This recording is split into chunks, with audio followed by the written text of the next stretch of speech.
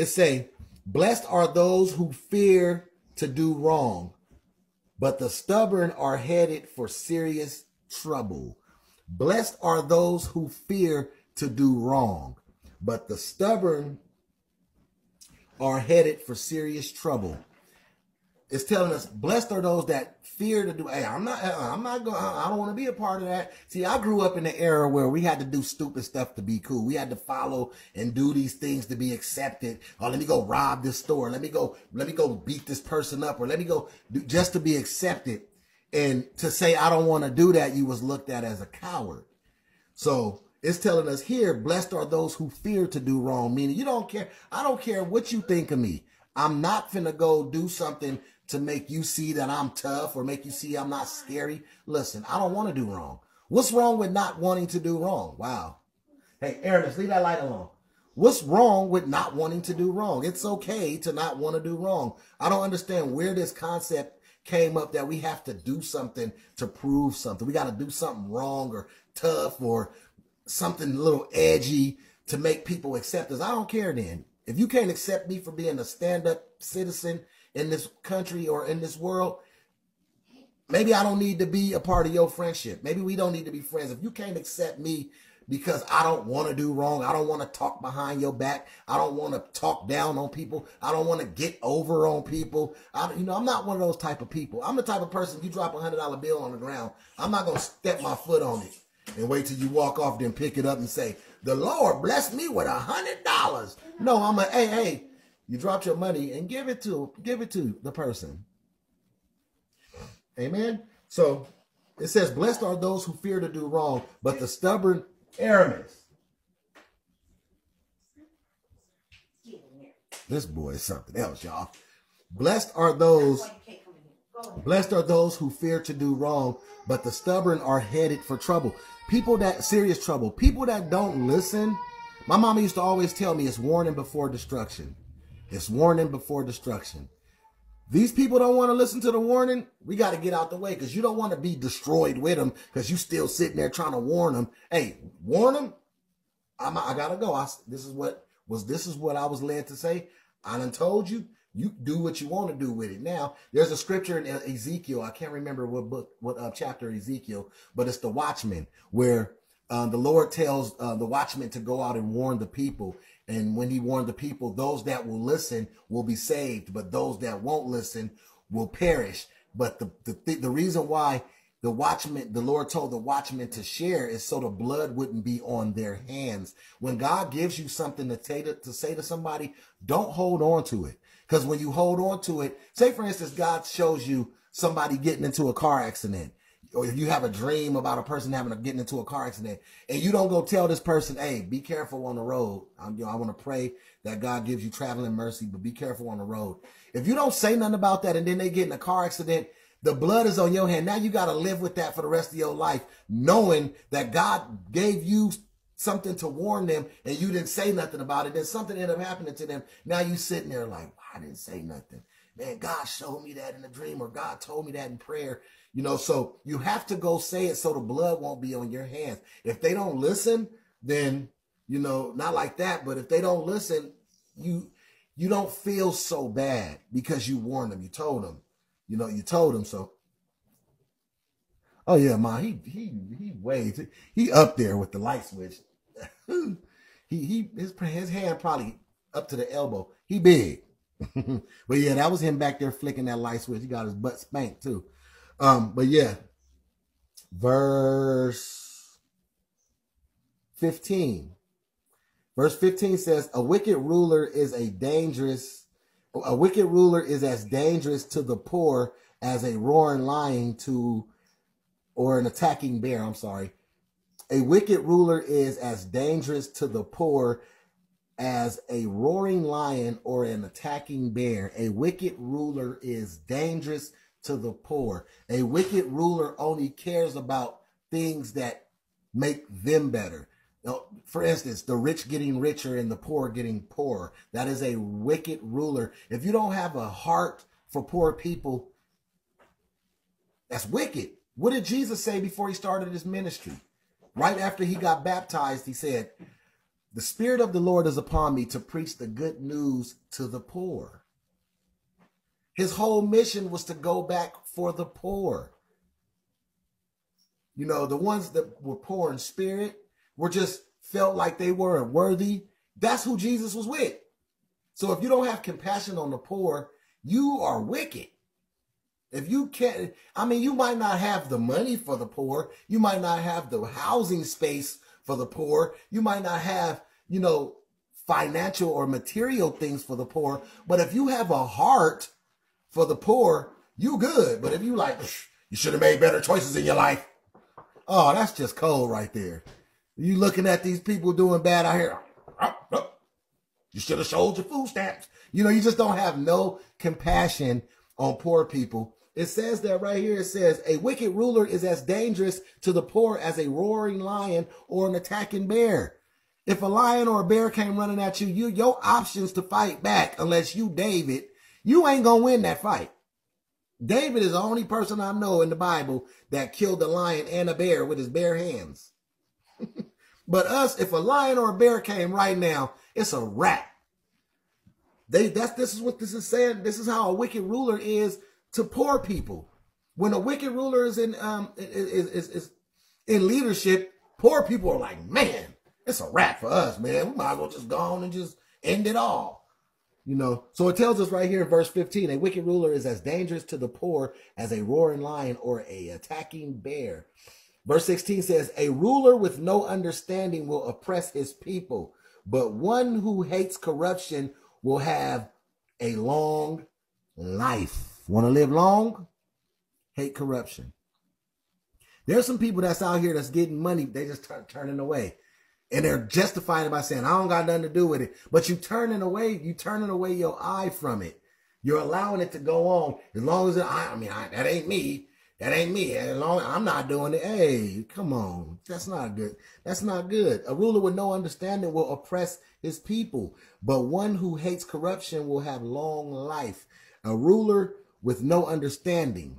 Right there. You don't even know what's going on. You don't even understand what's going on. That's causing oppression to people that need you. You're the ruler. You're the leader. They're depending on you and you don't even understand or know where you going. It's making it worse for the people that God has allowed you to be over. a murderer's torment, a, a murderer's tormented conscience will drive him into the grave. Don't protect him. Mm. Mm, mm, mm. That's deep right there. A murderer's tormented conscience will drive him into the grave. Don't protect him. What he did is going to eat him up. You don't got to, you don't, listen, it's, it's a murderer. It tells, don't protect them. I see this go on all the time. Some people murder, for instance, the kid that shot up the school. I see so many people justifying why he did it. Oh, he was bullied. He was bullied. Hey, listen. Them kids in that classroom didn't bully him. He didn't, whoever he was bullied by, he didn't kill. He killed some innocent children that had nothing to do with his being bullied in the past. Oh, you know, he just had a rough he had a rough life. Man, stop standing. Listen, the brother, listen. The brother shot up some kids. His conscience is going to eat him up. We don't need nobody making it easy for him. Yeah, I did have a rough. Yeah, it's because I was bullied. That's why. Listen, uh-uh, listen. I mean, he was wrong for what he did, hands down. I'm not. I don't care. You know, because a lot of this, this is this is starting to consume our world, this bullying thing.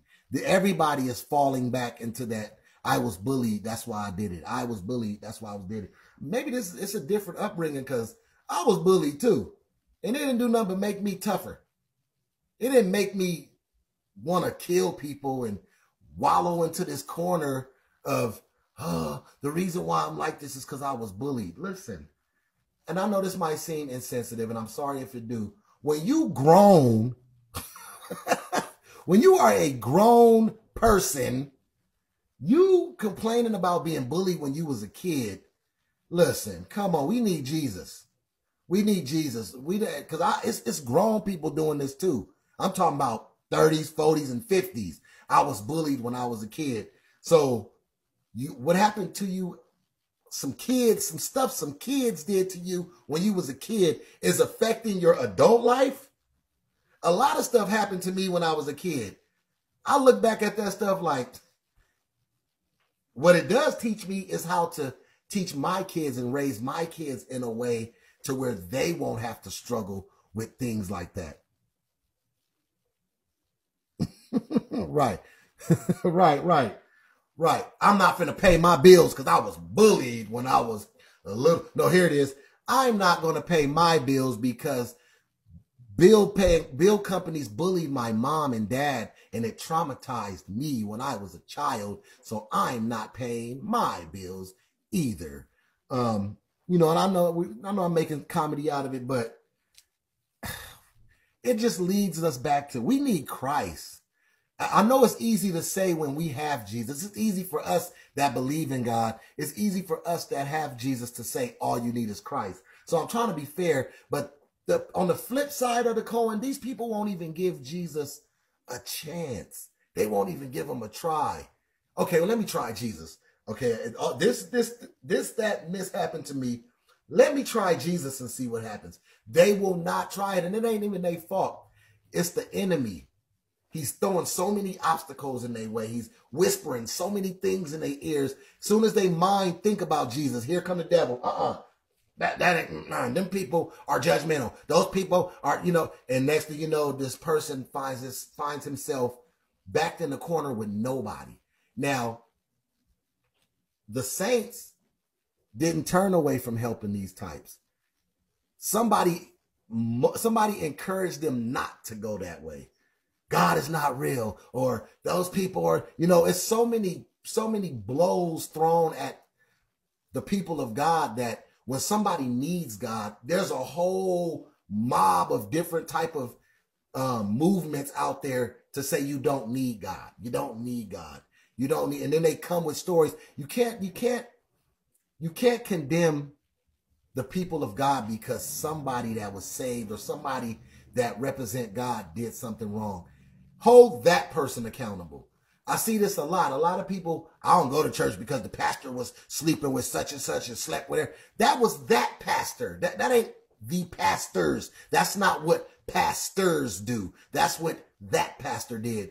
These are people have to still understand this is these people are still human. They're still fighting temptations and lust too. So you have to pray for them. But the enemy, the enemy gets the enemy gets the leadership to fall for something and then he puts them out there as the um as the the the, the whole thing of church oh this pastor for instance eddie long remember that pastor eddie long and he got caught messing with that little boy or messing with a boy everybody just condemned the whole church because of eddie long's what eddie long did that ain't the whole church that was eddie long people still be having hidden things in them that they're not telling you about so that's why discernment, salute. That's why discernment, discernment, because you will feel it. You can, uh-uh, I'm not supposed to be here. Let me get out of here. Get get away from that church. There's other churches out there. There's other ministries that you are supposed to be a part of. But don't let one person's mistake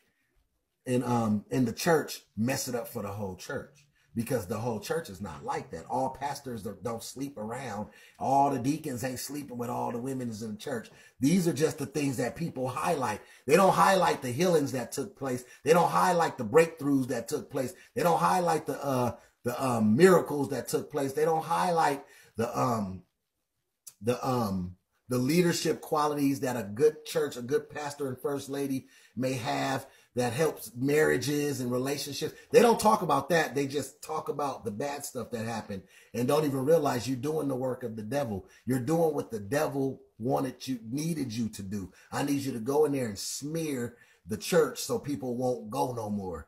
So we have to be careful um, with that. It say the blameless will be rescued from harm, but the crooked will be suddenly destroyed. If you ain't did nothing wrong, don't worry about uh don't worry about um bad coming back on you. If you put your faith and trust in God, He will rescue you. He will see you through it. I'm a living witness to that. Um, just real quick, one of my friends back in 2003, we were all standing out, hanging out in front of one of my friends' house. And one of my buddies came across the street to come hang with us. And as he crossed the street, the police pulled up. He had a gun on me, threw the gun on the ground. It landed by my feet. The police took me to jail. I had a, um, I already had, I was on probation for um, possession of a firearm. So I had one strike. So when he threw that gun by me, they put me in jail with and um, tried to give me two strikes with 16 years. Um, I know I didn't touch that gun. I know I didn't do it at all. I had faith and trust that God will see me through. We went all the way to trial and I got acquitted on um, um, both cases. They had me in there for ex felon with a firearm and gang member with a gun with intent to do harm to a peace officer. Well, I got acquitted on both um on both cases. And I really I really had to put God to the test like, "Hey, Lord, you know it was if nobody else know, you me and the, my friend that threw that gun knows I didn't do this. So, I'm putting my trust and faith in you, God. I'm believing that you're going to get me out of this. And sure enough, God got me out of it. God uh, really um, brought me through that one. And that right there let me know I was innocent and I didn't go to jail for it. And that police officer came, testified, all that. His, testi- his testimony was so bogus and the color of clothes that he said I had on was not even the color. It was just, he just sabotaged himself trying to lie on me. But every time I see this scripture, it just takes me there. The blameless will be rescued from harm, but the crooked will be suddenly destroyed. And sure enough, that man, he couldn't work that beat anymore because I was in jail. Don't get me wrong. I was in jail for about eight months fighting it. And they, them police officers was in my neighborhood harassing my brothers, all my friends, all the neighbors. We know that you guys are trying to stand up for him. Them neighbors came and, um, you know, they did their testimony for me, to, uh, testified on my behalf, told me he takes out our trash. This is a good brother in the community. Man, they told the truth. And all of their testimonies were um, the truth and they didn't have to try to make me look good or anything. What they said was what it was. And the police looked like the bozos. So he messed up, sabotaged his whole beat. He got moved to a whole nother area and all kind of stuff. He was mad. He was mad about it. But it's just interesting. This is a very true scripture that it says, uh, the blameless will be rescued from harm, but the crooked will suddenly be destroyed. A hard worker has plenty of food, but a person who chases fantasies end up in poverty. Woo! I know some of y'all want to tell y'all sons and daughters that right now. Everybody want to be a rapper. Everybody wanted to, you know, chase these fantasies. Now, I'm not saying that they might not have skills, but for instance, my son, my son is a, uh, he got skills. My 17 year old son got skills. And he wants to stay in LA to rap. And I told him, I said, LA has a plethora of rappers. What is different about you than them? And when I said that, he started thinking, I said, this is Hollywood we're dealing with here.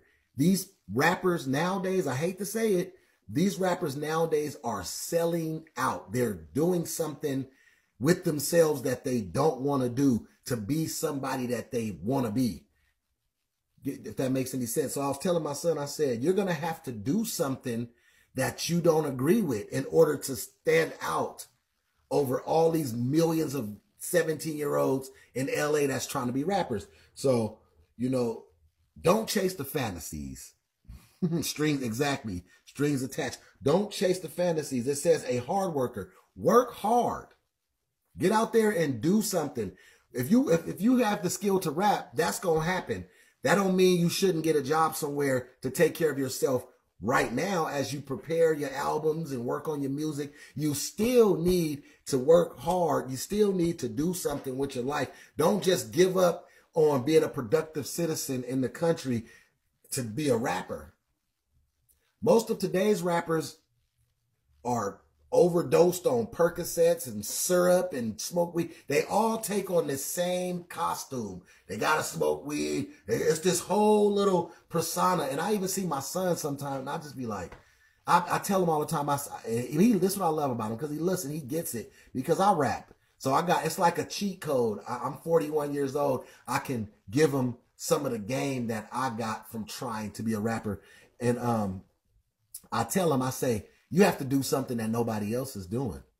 Everybody, all the rappers smoke weed. All the rappers pop Percocets. All the rappers sip syrup. All the rap, they all do one of those things, drink. They might not do all of them, but one of those things I named, cocaine, they, they do one of them. You be the rapper that don't drink or smoke. You be the rapper that raps about something they don't rap. They all rapping about Dracos and females and money, and you rap about something else.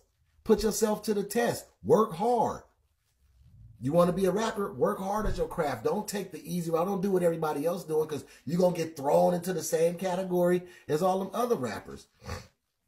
But it says hard work. A hard worker has plenty of food, but a person who chases fantasies end up in poverty. Real talk. If you work hard, you can pay. If you work hard, you can endorse your craft. If you work hard, you can and you can invest in what you want to do. So if you're working hard, say you got a job and you're making $20 an hour, you can take money from what you earn and put it into your fantasy per se. You won't end in poverty that way because you're working hard to do what you want to do. Don't kick the hard work to the side and try to get your fantasy accomplished because you will end up in poverty. It's very hard. Very seldom do you see people just really rise from nothing. And most of the ones that rise from nothing, they don't be there that long like that. They have that started from the bottom story, but after that, it's just, okay, what's new? What you doing the same thing everybody else doing? What's special about you? 21 says, no, oh, 20 says, the trustworthy person will get a rich reward, but a person who waits, I mean, a person who wants quick riches will get into trouble. Mm, this is game, y'all. Proverbs 28 and 20 says, a trustworthy person will get a rich reward. Trustworthy. I can depend on you. Dependable. Um, I can I can trust I can put my trust in you investing in you. This person will get a rich reward, but a person who wants quick riches will get into trouble. A person that tries to run off, say you invest in a person, you give them all this money to do something, and they take off. They're going to get into trouble, either with the law or they don't know what type of person they ran off on and they catch back up to them later. Now this person, and listen, what sense do it make to take a lump sum of money, a lot of money from a person, run off on them and expect to be um, this person in the world. All you're doing is letting them know where you at. So if I tell you, you give me $3 million, I'll run off on you and I become successful. I'm in your face every day. That means it's not hard to find me now. So now I done just stole from you to make myself obvious to be found by you for you to do whatever, whatever you want to, for what I did to you. So you want to be a trustworthy person, uh, somebody you can depend on. I can invest this in that person. I know that um, my investment is going to return double or even if it's just getting something good out of the person as far as encouragement, feeling true love, feeling true brother, like feeling like you really got a brother or a sister or a family member or some feeling like this person is somebody to you um, off of your investment. That's a, a trustworthy person, but somebody that's trying to get it fast. Hey, Air, God bless you, sis. Somebody that's trying to get it fast, they might get it fast. And you know what I mean. 21 says, thank you. 21 saying, 21 says, showing partiality is never good. Yet someone will do wrong for a mere piece of bread. Showing partiality is never good. Yet some will do wrong for a mere piece of bread. For real. I can, listen, I can elaborate on every verse of this scripture. Listen, there's people out there that don't even care about you. Can you pay their bills? Can you take care of them? They don't care about you. It's what you can do for them. Some people will do you wrong. They will lie to you, hurt you, break your heart, send you on this fake road like they love you. And all they're doing is taking from you, getting over on you, using you. You know, they don't care. It says showing partiality is never good, yet some will do wrong for a mere piece of bread. I see brothers do it all the time. Hey, I'm gonna get, hey, man, look, I don't even like this cat, but hey, he got this, that, and the third. We gonna rob this. We gonna rob. We gonna get up. listen, I ain't with it. I ain't with it. I, I can't trust you. I can't trust you. You're not finna be up in my business because I don't know if you here to support me or try to get me robbed. Verse 22 says, greedy people, greedy people try to get rich quick, but don't realize they're headed for poverty. Wow, this is like the last four verses been about trying to get rich quick.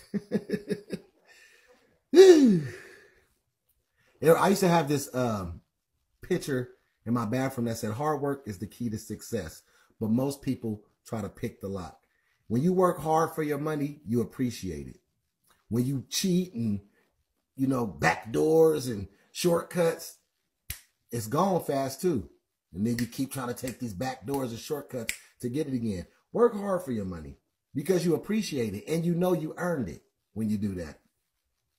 Using people and getting over on folk, ain't gonna work. In the end, people appreciate honest criticism far more than flattery. That speaks for itself. Tell me what, listen, honest criticism, don't tell me what I want to hear. Don't butter me up. Don't try to make me feel good. Tell me what I need to hear so I can correct it. The Bible says that a wise man is given to correction. So wise people want to know where they're going wrong at so they can fix it. So it, it makes them all the wiser. But when you are foolish, when somebody tries to correct you, you get in your feelings, you get mad. Don't come for me. Ah, and next thing you know, you hit rock bottom. Person try to help you, try to correct you, try to, you know, it's not that a person's trying to be your mother or your father.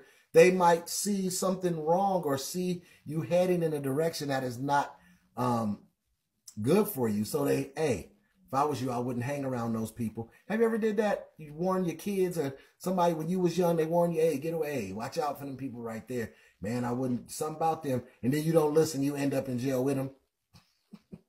or you end up in trouble with them.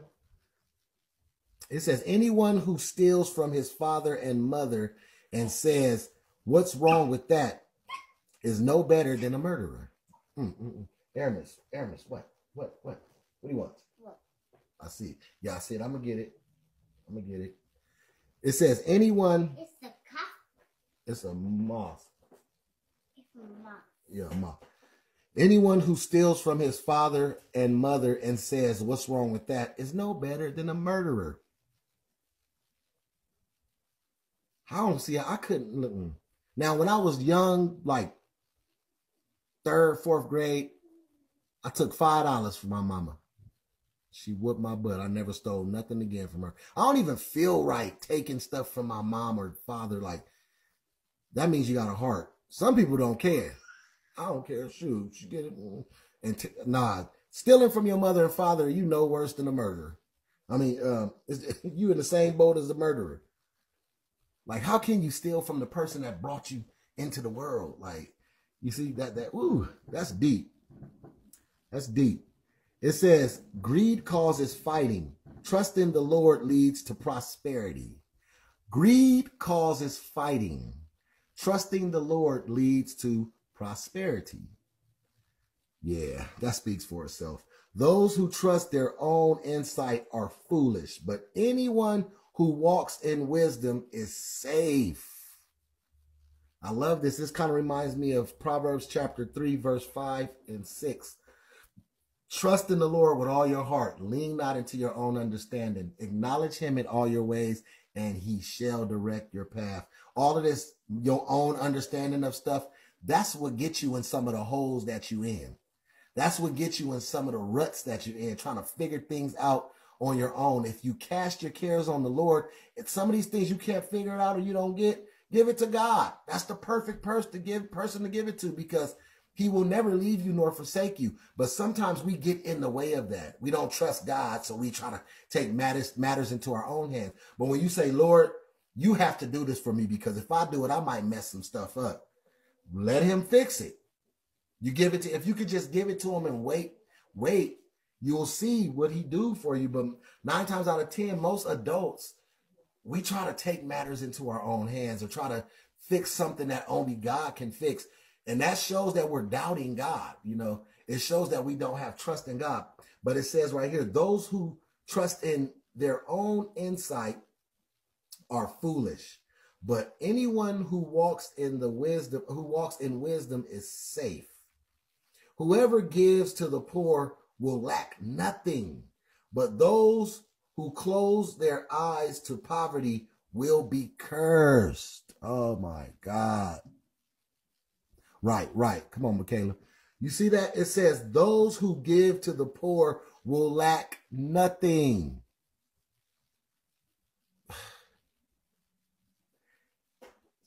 A lot of us are afraid to give to the poor because we think it's taken away from a bill that we need to pay, or we think it's taking food out of our children's mouth. Trusting God on this one. I be when I be getting when I get money, so I be I go with intentions to give at least twenty dollars or something to somebody that don't got nothing. Like I'm always, I'm always, when I go to Walmart, my eyes is fixed on it. Where's somebody at that needs something? Lord, send them my direction. I remember I, this has happened to me a few times. I went to Walmart with $10 or $15, $20 and I, and I say, Lord, lead me to the person you want me to give this to. And I will go shopping, get all my stuff and get all the way back to my car, get in the car about to crank the car up and somebody will walk up out of nowhere. Excuse me, is do you think you can help me with? And I'm like, man, I've been waiting for you all day. Boom. And they like, wow, you know, they wasn't expecting 20 bucks. I always say that. I always say that. I always say that, man, I've been waiting for you all day. I was wondering where you was at. They always look at me like, what are you talking about? But before I even got to the store, I already asked God, if somebody needs something, Lord, put them in my path. I don't want to give this money to who you didn't assign me to give it to. And I will be on my way out of there and a person will come out of nowhere like, excuse me, is it, do you think you can help me? Can I wash your window? No, no, man, you ain't got to do nothing here. Matter of fact, I was looking for you. Where you was at? Here, take this $15. And they look oh, wow. And I hit them with a Jesus loves you. Do you want me to pray for you or something like that? And, and go on about my business. But I'm not rich, but the Lord be coming through. He be coming through for me. You know, I ain't, I ain't balling. I, you know, I don't, I, I'm, I'm able to pay my rent. I'm able to buy some food, you know, stuff like that. But I'm not wanting for nothing. You know, I don't really have too much that I, you know, because stuff, and, and this might just be for me. This might not be for y'all. Stuff be distracting me from God.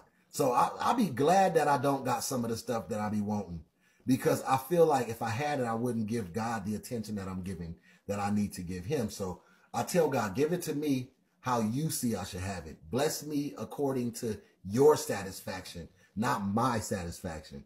Amen. Ooh, that was deep. Lord, bless me according to your satisfaction. I think we should tell God that one. That's a good one right there. Lord, bless me according to your satisfaction. Amen. All right, we almost out of here, y'all. We almost out of here. Oh, yeah, that's the last one. It says, when the wicked take charge, people go into hiding. When the wicked meet when the wicked meet disaster, the godly flourish. Mm. When wicked people lose their spot, the godly flourish. You know, um, be prepared.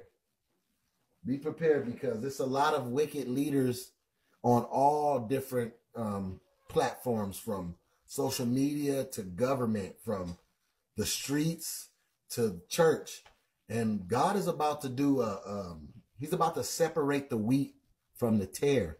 Um, you guys know where your hearts are with the Lord. You guys know where you stand with God. Don't give up on that. It might not look like um, it might not look like we winning right now.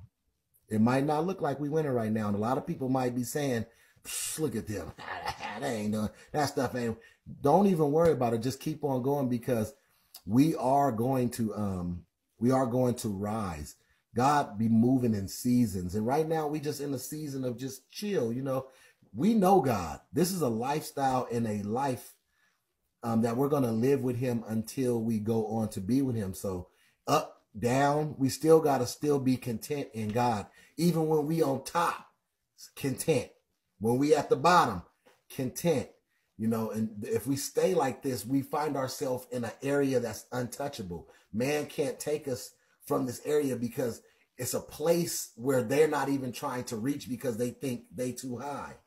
And the ones that are trying to do the low stuff, they can't get to us because God has us set aside. I said this yesterday. The Lord is hiding us from the attacks of the enemy. The devil can't see the strategy that God has planned for us. And this is a place that even God doesn't want us to see all the way because he doesn't want us to get in the way or mess it up. So we got to be content in God and just know, hey, I love the Lord Jesus Christ. I love him when times are good. I love him when times are bad, and nothing's going to change that. And I'm comfortable right here. Amen. But yeah, I just want to read um, that proverb. It took up all my time, but I'm gonna play another song. I want to play. I, I did want to play this song right here. my song. This is my song, and it's called "What a Friend" by Chandler Moore. Um, I pray that the proverb that was read today had meaning, and um, it encourages you to want to read the proverbs um, for yourself. I would encourage you to do so because it lines up it lines up. I mean, the whole Bible lines up with our life, but Proverbs just, it's just like the Lord gave us this to get us through every day as far as being wise, as far as operating in wisdom. Um, and the wisdom comes from the Lord, not our own wisdom. You know, um, it seems like our own understandings is what's getting us in trouble. Our own wisdom is what's getting us in trouble. Um, but when we got the wisdom of the Lord, the wisdom that the Lord wants us to have, when we got the wisdom the Lord wants us to have, um, we can't go wrong. You know, God is good. And I truly thank God for everything he is doing. All of these great things he's laying before me to um, keep me busy in the spirit, to keep me busy in him. Amen. Oh, God bless you, mom. I was supposed to be today. My cousin 47th birthday pool party. Big old, it's popping. It's like a hundred some people there. I wasn't, um, things didn't line up. So I took it. I said, you know what? God must not want me there. I was looking at the Facebook, um, because I was in the group for the party to be invited. He put us in this group, everybody that was going. Man, it was so much liquor. And that was one of the requirements. If you come, bring a bottle. And it's like a hundred people there. I said, it's no reason for me to be there, honestly. Like, I mean, I understand my cousin's 47th birthday. You know, he wanted me to come to celebrate him, celebrate his birthday, but the Lord did not allow me to um, be able to get there. My babysitter, the people we had, me and my wife had somebody, uh, her, her family to babysit. They ended up all catching colds. We thought it was COVID, but it was. They all tested negative for COVID, but the whole house dad, mom, and all the kids, all sick. So that was my confirmation that God didn't want me to go. So I said, you know what? I'm not tripping. I'm, I'm so glad that God took that needing to party um, feeling out of me. You know, some of us, we really feel like we have to go party. We have to go hang out. I've been working all this week. I deserve to go have a drink and party. I thank God that I don't have that no more. I mean, it's no shade to the people that still um, like the party and stuff like that. I'm thankful that I don't. I don't have that want to want to get out and do something. I love sitting right here at my house with my wife, my kids, and my dog. And y'all, y'all the only friends that I got. Y'all been for the last three, four years. Y'all my family and friends. And there's no shade. doesn't take away from my real family, but this is where God has me, and I enjoy this. Oh wow. Well, we pray and hold her up in prayer, Mom, that she will have a speedy recovery. Um, and that the Lord will cover her and strengthen her immune system in Jesus' name. Um, I said people have to be careful. It's so many people. They uh I seen a um an article. I got the notif- I don't know how I got CNN, but CNN notifications pop up on my phone. That's where I be getting all these articles from because they pop up and I click it and read it.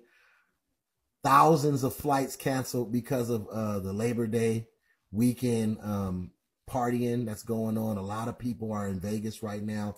And I said, this is crazy. Everybody want to be out. That's another reason why I believe God didn't want me to go to this party because COVID looked like it's still lingering around, you know, and I don't got time for that. You know, I ain't got time for that. So I know God is protecting us. I know God is covering us, but God also tells us not to go places too. He also tells, you know, we know that we're covered. We know that God is covering us his hands is over us. But some of the stuff we, we have to listen if if God if, if it's in God's will for you to stay home. Stay home. Don't say, I'm covered and go because God is saying, there is where this is happening. Don't go there so it won't happen to you. And we won't listen to that and we'll go with this cocky, I'm covered type of mentality. And boom, it'll happen to us. Marvelous. Oh, that's that's beautiful, Nate. I said, who is this? I know, I know when it's beautiful, Nate, because she always put the speaker thing in the front and the rally flag at the back. Hey, sis, welcome back. But yeah, let's get into this song. Let's get into this song. I dedicate this song to the whole room, y'all. I dedicate this song to the whole room. Right. It does override God's protection. You know, that's like how, before I play this music, that's just like how Satan tried to tell Jesus, jump off this high mountain. Didn't the scripture say that God will give you angels the charge will give charge the angels charge to catch you before you hit the ground? So when you go somewhere that you know is that is um that can harm your health and you just god got me covered. That's the same thing. You going and doing that what, what lucifer tried to do to jesus go didn't god say he gonna send angels so when you i'm going to this party i don't care if they do got covid i'm covid i'm covered no wisdom will say you know what i'm gonna sit my tail right here and I'm not to go because the Lord is leading me to stay. I'm not finna press past that. I'm not finna say, you know what, I'm going anyways. No, I'm gonna sit right here and I'm gonna pray that them people at that party don't get COVID. Amen.